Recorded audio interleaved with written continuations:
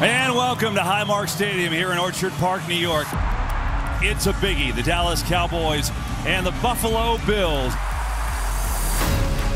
Hello again, Bills Mafia. Welcome to Week 15. We expect Highmark Stadium to be rocking today. They know what's at stake here today, and they know the role they can play. And a lot on the line here this afternoon. And here we go.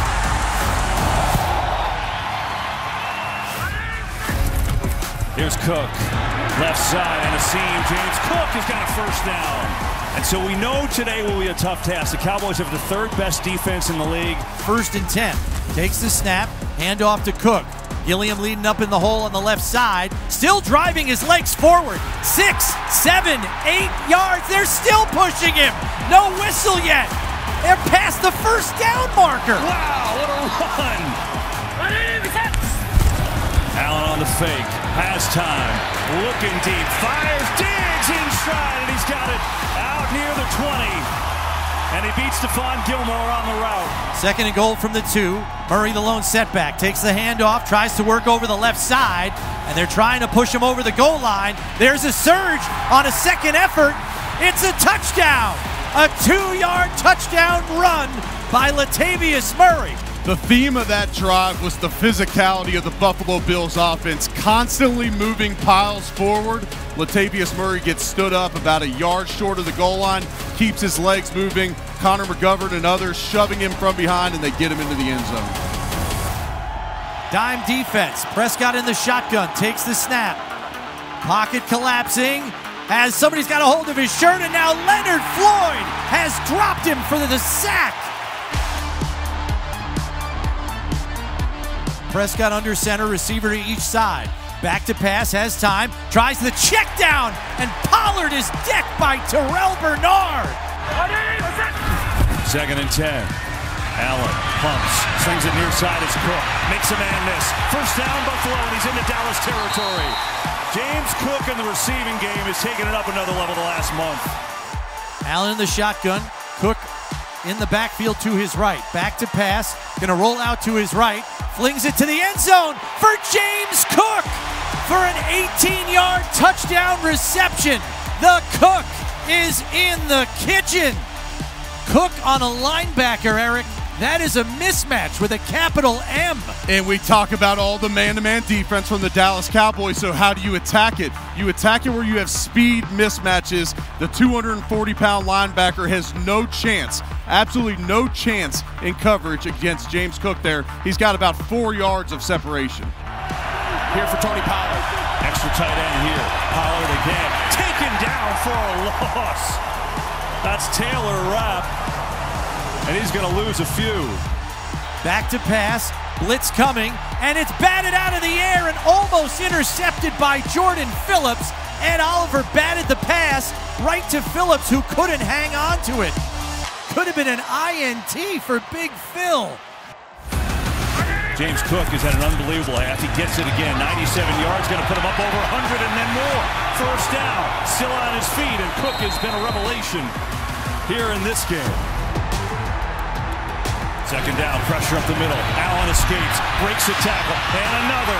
Allen fighting for a first down, and he's got it. How do you bring him down?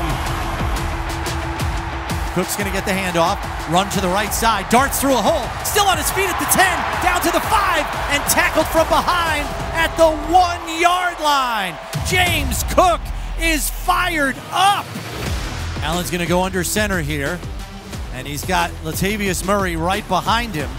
And there's the snap, going to go over the left side, and he's into the end zone.